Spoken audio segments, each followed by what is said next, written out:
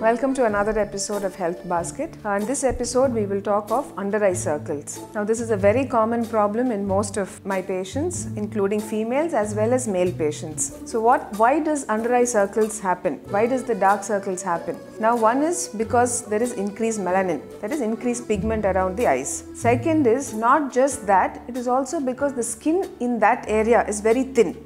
It's a less than 0.5 millimeters. So when the skin is very thin, blood vessels under the skin, that is the veins, which show as blue color outside. So some darker people it comes as a violet discoloration. So that is also one of the reasons. Third thing is because of wrinkles. There is a, as the skin ages, if you actually stretch the skin, the pigmentation will go. Because of these wrinkles, the skin can look darker in that area. Then those people with dust allergy, we also call them atopics they keep constantly rubbing their eyes and that produces this kind of pigmentation. And of course, a lot of radiation, lack of sleep, looking into the computer or the cell phone for long hours, all this produces under eye pigmentation. So what you can do from your side is one as usual sleep early, wake up early. You can you must drink a lot of water because if your skin is not hydrated, of course the laxity will uh, go and it will look darker there.